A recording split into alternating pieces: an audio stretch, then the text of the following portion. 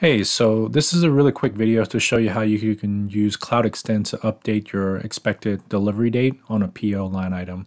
So for instance, if your vendor from China is sending you details uh, in regards to the, the containers having multiple POs that you need to update on your PO records inside of NetSuite, for example, what you'll need to do here is you'll need to add the field expected receipt date. In your case, uh, same thing when it comes to expected delivery date as long as you have this field added on here and you have the relevant POs.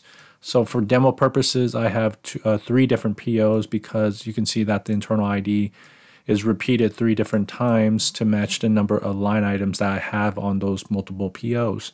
So in this case, once I have multiple POs, I can leverage Excel. I can just do equal sign, very simple.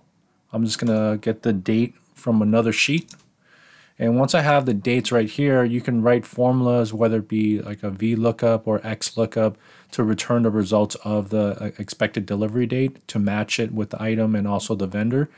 As long as you have this date here, you can go click on update, do an upsert all. And as you can see, it's updating three different records.